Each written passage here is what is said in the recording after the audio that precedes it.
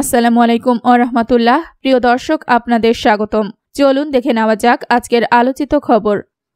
অল্প ব্যবধানে দুই আসনে হারলেন হিরো আলম। হেরে যা বললেন আলম। আমরা নীরব থাকলেও আওয়ামী লীগ ভয় পায়, বললেন মির্জা আব্বাস। নির্বাচনের ডিজিটাল চুরি থেকে এবার স্মার্ট চুরি হল, বললেন আওয়ামী লীগের বিদ্রোহী প্রার্থী আব্দুল মান্নান। কেন্দ্রখালী ভোটারদের আসতে এলাকায় এলাকায় মাইকিং। ব্রাহ্মণবাড়িয়া দুই উকিল আব্দুস সাত্তার বেসরকারিভাবে নির্বাচিত। ভোট পড়েছে আনুমানিক পনেরো থেকে পঁচিশ শতাংশ। নির্বাচন সুষ্ঠু দাবি সিইসির। শেখ হাসিনাকে আজীবন ক্ষমতায় রাখার ঘোষণা দিয়েছেন যুবলীগের চেয়ারম্যান পরশ। দর্শক শিরোনামে উল্লেখিত খবরের বিস্তারিত জানতে ভিডিওটি শেষ পর্যন্ত আমাদের সাথে থাকুন। সাম্প্রতিক সময়ে অনলাইন কিংবা অফলাইন সর্বত্র আলোচিত নাম হিরো আলম। স্বতন্ত্র প্রার্থী এই আশরাফুল আলম ওরফে হিরো আলম, বগুড়া চার, কাহালু, নন্দীগ্রাম ও বগুড়া ছয় সদর আসনের উপনির্বাচনে হেরে গেছেন। বুধবার এক ফেব্রুয়ারি সন্ধ্যায় রিটার্নিং কর্মকর্তা ও বগুড়া জেলার প্রশাসক সাইফুল ইসলাম এ তথ্য নিশ্চিত করেছেন। তবে হিরো আলম এই ফলাফলকে কোনোভাবেই মেনে নেননি। জোরালোভাবে বলেছেন, তিনি হারেননি, তাকে হারিয়ে দেয়া হয়েছে। ওখানে ফলাফল ঘোষণা শেষ হয়নি। ওখানে আওয়ামী লীগের একটা সভাপতি বলতেছে হ্যাঁ পাশ করছে মশাল, খালি ঘোষণায় অপেক্ষায় আছে। ওখানকার বলল। তে ওরা আমরা আগে নিজেই জানি না, আমরা প্রার্থীরা একটু বসে আছে, যে কত ভোট পাইছে। ওরা আগে মনে করেন লিডাররা ঘোষণা দাও, যে আমরা এখন খালি ঘোষণা, আনুষ্ঠানিক ঘোষণায় বাকি। তাহলে আজকে ফলাফল ওরা দাম করে, আমাকে জানান নাই, কিছু নাই। দাম করে উনচল্লিশের থেকে উনপঞ্চাশ একবার ডিগলারে বন্যা বলে ডাইরেক্ট বলে এত হাজার ভোট পেল। তাহলে এই ভোট তাহলে কি হবে? তাই আপনাকে একটা কথা বলতে চাই, এই ভোট, সুষ্ঠু ভোট হয়নি এবং এই ফলাফল আমি মানি না। জেলা নির্বাচন অফিস সূত্র জানায়, বগুড়া চার, কাহালু নন্দীগ্রাম আসনে মোট ভোটার তিন লাখ আঠাশ হাজার চারশো উনসত্তর। আর বগুড়া ছয় সদর আসনে মোট ভোটার চার লাখ দশ হাজার সাতশো তেতাল্লিশ জন। বগুড়া চার কাহালু নন্দীগ্রাম শূন্য আসনের একশো বারোটি কেন্দ্রে জাসদ প্রার্থী A K M Rezaul Karim Tansen বিশ হাজার চারশত পাঁচ ভোটে বেসরকারিভাবে নির্বাচিত। তার নিকটতম প্রতিদ্বন্দ্বী স্বতন্ত্র প্রার্থী হিরো আলমের প্রাপ্ত ভোট উনিশ হাজার পাঁচশত একাত্তর।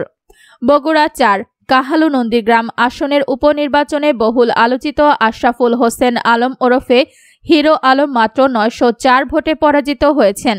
অন্যদিকে বগুড়া ছয় সদর আসনের মোট একশো তেতাল্লিশ কেন্দ্রের মধ্যে চুরাশি কেন্দ্রের ফলাফলে আওয়ামী লীগের প্রার্থী রাগেবুল আহসান রিপু নৌকার প্রার্থী পেয়েছেন তিরিশ হাজার একশো তেতাল্লিশ ভোট। এই আসনে চার হাজার দুইশো পঁয়ত্রিশ ভোট পেয়ে তৃতীয় অবস্থানে রয়েছেন একতারা প্রতীকের স্বতন্ত্র প্রার্থী আশরাফুল আলম ওরফে হিরো আলম। এর আগে হিরো আলম বলেছিলেন, খুব বেশি ভোটার উপস্থিত হবে না। ভোট নিয়ে মানুষের মনে ভয় আছে। ভোটারদের আগেকার সাহস বিশ্বাস নেই। এই ভয় দূর করার জন্য নির্বাচনে সুষ্ঠু ভোট দরকার। তিনি ভোটে না দাঁড়ালে ভোটাররা ঘর থেকে বের হতেন না। এদিকে জাতীয় সংসদ উপনির্বাচনে ব্রাহ্মণবাড়িয়া দুই আসনে বিএনপির বহিষ্কৃত নেতা, স্বতন্ত্র প্রার্থী উকিল আব্দুস সাত্তার ভুইয়া বেসরকারিভাবে জয়ী হয়েছেন। তিনি ছেচল্লিশ হাজার তিনশো তেইশ ভোট পেয়ে বেসরকারিভাবে জয়ী হয়েছেন। তার নিকটতম প্রতিদ্বন্দ্বী জাতীয় পার্টি লাঙ্গল মার্কার প্রার্থী আব্দুল হামিদ খান পেয়েছেন নয় হাজার পাঁচশো ভোট। এই আসনে উপনির্বাচনে সরেজমিনে দেখা যায়, বেলা সাড়ে বারোটা পর্যন্ত পাঁচ থেকে সাত শতাংশ ভোট পড়েছে। সব কেন্দ্রই ফাঁকা। ভোটের আগ্রহ কম থাকায় বিভিন্ন এলাকায় মাইকিং করা হচ্ছে। ভোটারদেরকে মা বাবা ভাই বোন ডেকে ভোট কেন্দ্রে যাওয়ার অনুরোধ করছেন প্রার্থীরা। সরাইল উপজেলার দামাউড়া গ্রামে ব্যাটারি চালিত অটোরিকশায় করে বিভিন্ন অলিগলিতে এমন অভিনব মাইকিং করা হচ্ছে। এতেও ভোটারদের মধ্যে তেমন একটা আগ্রহ বাড়েনি।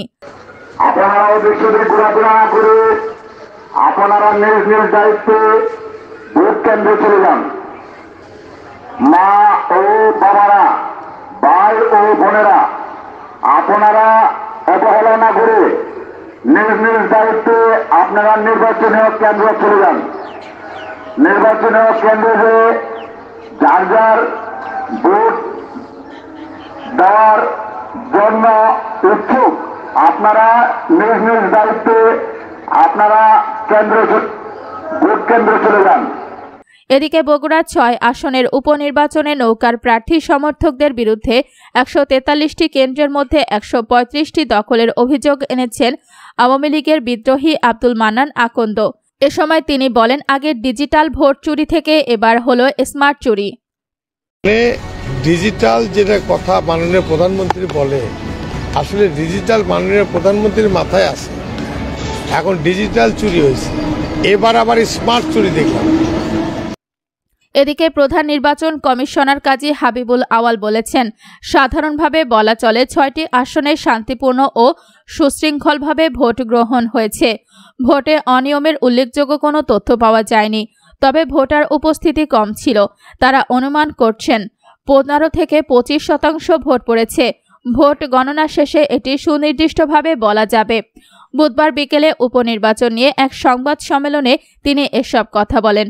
কাজী হাবিবুল আওয়াল জানান, টেলিভিশন ও অনলাইন সংবাদ মাধ্যমে নজর রাখছেন তারা। অনিয়মের উল্লেখযোগ্য কোনো তথ্য পাওয়া যায়নি। কয়েকটি জায়গায় পাল্টাপাল্টি ধাওয়া হয়েছে। দু একটি ককটেল বিস্ফোরিত হয়েছে।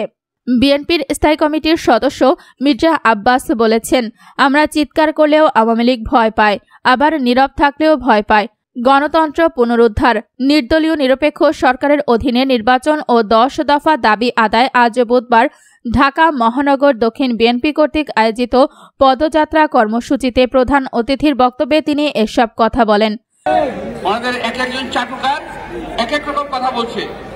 কেউ বলছে বিএনপির মরণ যাত্রা কেউ বলছে এইটা, কে বলছে সেটা।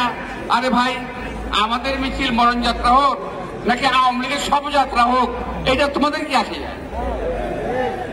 তোমাদের কি আসে যায়? তবে হ্যাঁ যদি এটা আওয়ামী লীগের সব যাত্রা হয়ে থাকে, তাহলে তাদের কিছু আসে যায় ডাক্তার খন্দকার মোশারফ সাহেব, উনি বলেছেন একটা ব্যাপার একটা এই- এই যাত্রার নাম দিয়েছে শোভাযাত্রা।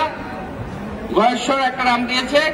আমি আজকে বলছি, এই পদযাত্রা আওয়ামী লীগের সব যাত্রার পূর্বের যে পূর্ব।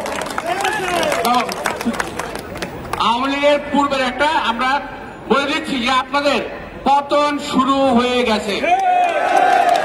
আপনাদের পতন শুরু হয়ে গেছে। এখন শুধু দেশের মানুষের সময়ের অপেক্ষা। এই দেখেন, আজকে আজকে গতকাল হঠাৎ করে কথা নাই, বার্তা নাই, বলা নাই, কওয়া নাই, বিদ্যুৎ দাম বাড়ায় দেব বিদ্যুৎ মন্ত্রী বলে ফেললেন যে মাসে মাসে সমন্বয় করা হবে। আটটা এরকম।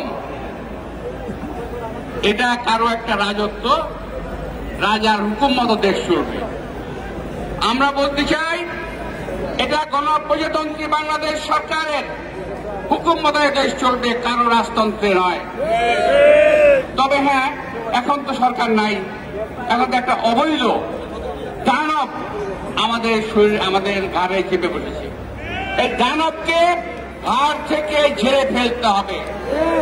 এই দানবকে ঘাড়ে রেখে দেশের কোন উন্নয়ন দেশের সাধারণ মানুষের উন্নয়ন দেশের মানুষের ভাগ্যের উন্নয়ন কখনোই সম্ভব নয়!